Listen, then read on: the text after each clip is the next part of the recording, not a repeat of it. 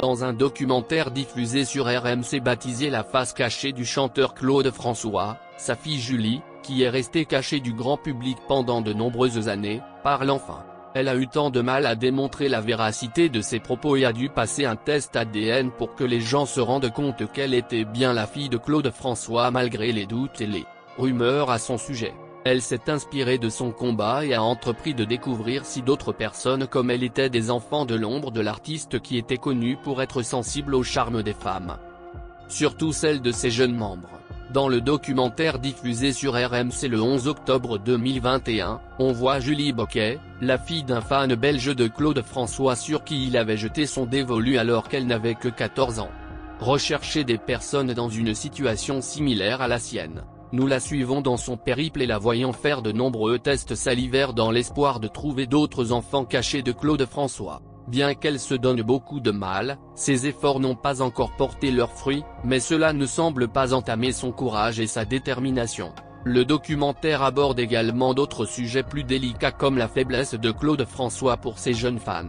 C'est Georges Moréas lui-même, le commissaire de police qui avait été mis sur l'affaire et qui avait interrogé le chanteur en 1977.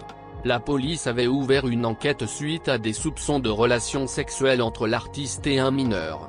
Le représentant de la police se rend au moulin de Danemois et interroge Claude François, en essayant de ne pas déranger sa compagne Isabelle et leurs enfants. Au début, le chanteur n'a pas caché que de nombreuses jeunes filles venaient souvent lui rendre visite et que la victime présumée était sûrement l'une d'entre elles.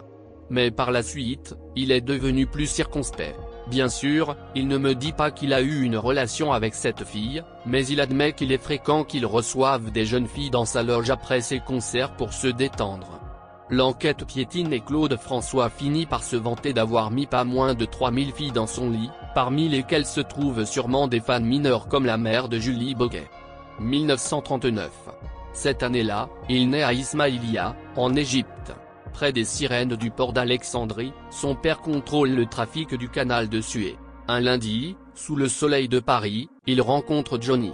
En 1961, le rock'n'roll vient d'ouvrir ses ailes, mais le blondinet choisit de surfer sur la vague yéyé. SLC est un succès. Belle, belle, belle, les fans sont fous de lui. Sa femme Janet Woolco préférait Gilbert Bécaud. Il y pense, beaucoup, et puis oublie, dans les bras de France Gall. Bourreau de travail, il rachète le magazine Podium, crée son propre label, sa propre ligne de parfum et multiplie les succès, comme d'habitude. Le mal-aimé épouse Isabelle Forêt et devient le père de deux garçons, Marc et Claude Junior, dit Coco.